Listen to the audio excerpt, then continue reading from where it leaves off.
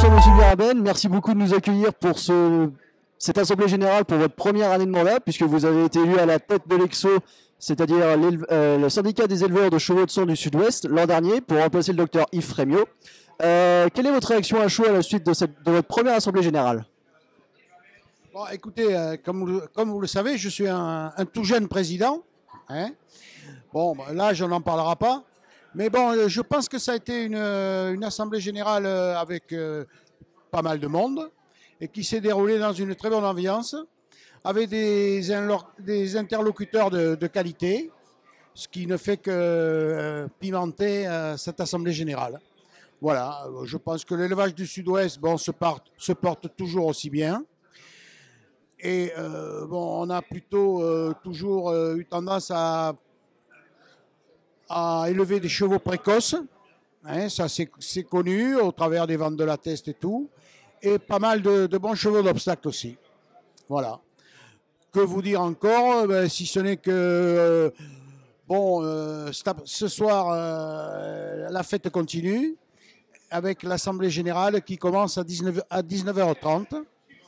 Et je souhaite bienvenue à tout le monde pour ce soir. Merci beaucoup, Monsieur Biraben. Qu'est-ce que vous pourriez nous dire succinctement pour résumer votre première année à la présidence? Qu'est-ce qui a été achevé pour cette première année? Et quels sont les objectifs majeurs à venir pour l'année 2020 bah, Vous savez, euh, les objectifs à venir, c'est toujours les mêmes. C'est défendre, défendre notre élevage euh, au travers eh, des organismes de vente, au travers de France Gallo, au travers de toutes les institutions. Bon, après, avec euh, les petits moyens que nous avons. Mais ce qui est, important, ben, c'est que bon, de ne pas perdre euh, aujourd'hui d'éleveurs, ce qui n'est pas le cas. Euh, on a recensé même, euh, je crois, une dizaine d'éleveurs supplémentaires, ce qui n'est quand même pas mal. Donc voilà, on, essaiera ben, de, continuer dans, ce sens et, de continuer à élever des bons chevaux comme, on sait le faire sur les terres du sud-ouest. Merci beaucoup, Monsieur Barbin. Et pour terminer, euh, puisque demain c'est quand même la journée du Grand Cross, qui va attirer beaucoup de monde et qui promet d'être un spectacle vraiment impressionnant cette année encore.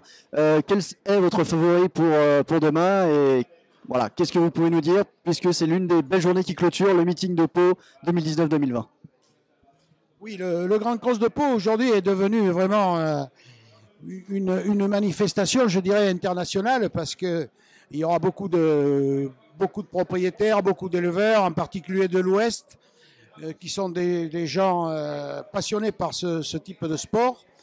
Bon, pour ce qui est, bon, euh, nous avons la chance de participer à ce grand cross avec notre, notre vieux Alpha Risk.